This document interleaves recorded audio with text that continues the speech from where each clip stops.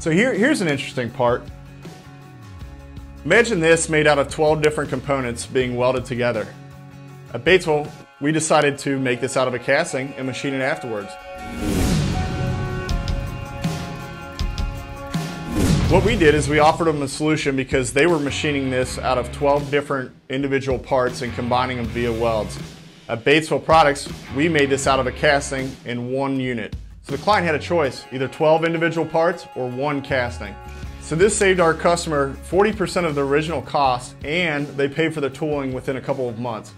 So imagine welding this together, 12 individual parts, one casting. And we can do that for you.